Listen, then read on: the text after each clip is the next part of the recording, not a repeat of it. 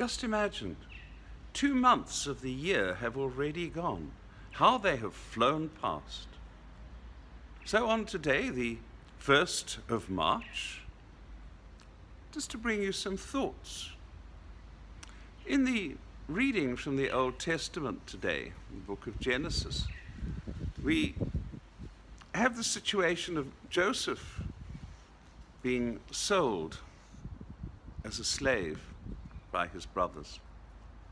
Horrible situation, done through jealousy, because they ridiculed him about his ability to see visions, to experience visions.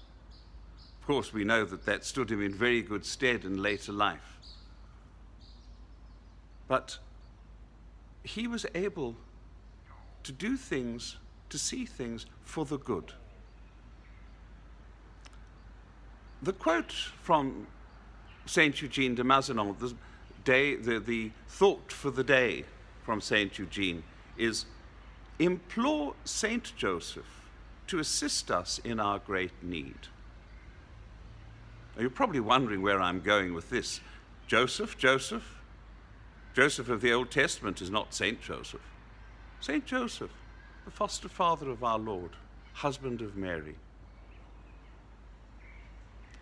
We don't have any words of his in Scripture. Nowhere.